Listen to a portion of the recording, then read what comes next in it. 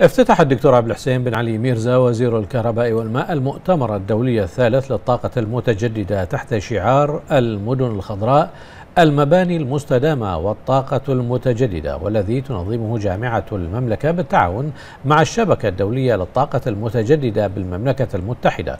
وبحضور رؤساء الشركات وكبار المسؤولين والمختصين وأكثر من 150 شركة من الشركات الصناعية والهيئات الحكومية بمملكة البحرين. وقد قدم الدكتور ميرزا عرضا مرئيا شاملا لموضوع إنجازات الطاقة المتجددة وكفاءة الطاقة في مملكة البحرين.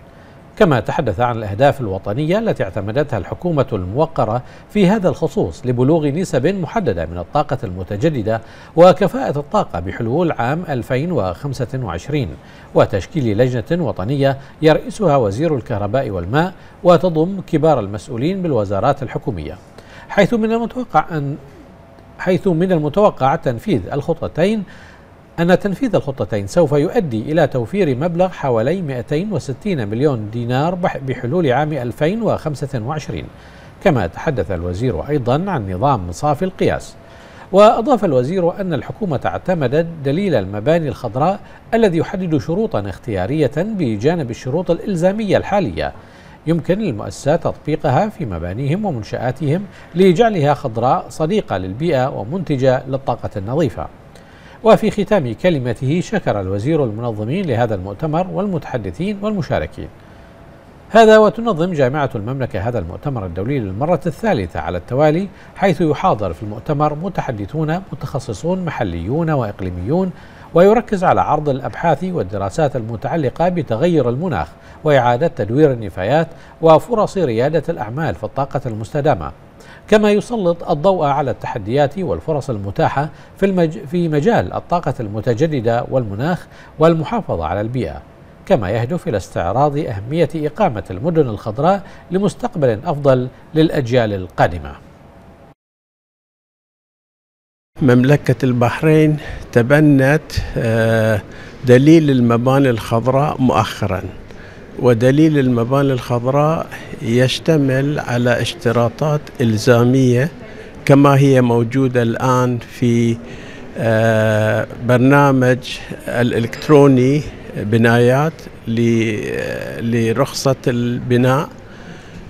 ولكن بالإضافة إلى ذلك الدليل المباني الخضراء يشتمل على 64 اشتراطات اختيارية ويستطيع صاحب المبنى الجديد أن يتبنى أية من هذه الاشتراطات الاختيارية وسوف تعطى له تصنيف أو قيمة على كل اشتراط اختياري يختاره. وإذا جمعنا الاشتراطات الاختيارية مع الاشتراطات الإلزامية فيمكن تقييم المباني وتصنيفها على أساس كيفية كف... الكفاءة في استخدام الطاقة. ومن المؤمل أن هذا يؤدي إلى كفاءة الطاقة وترشيد الاستهلاك بنسبة 30 إلى 40% في المباني من الطاقة والمياه.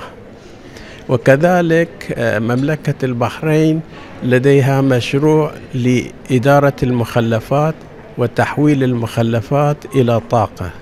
وهناك شركات عديدة تريد أن تستثمر في هذا المجال وخصوصا أن التقنية الآن تقدمت لدرجة أنه أصبح بالإمكان وبكلفة متواضعة تحويل المخلفات إلى طاقة نظيفة لا تؤثر على البيئة.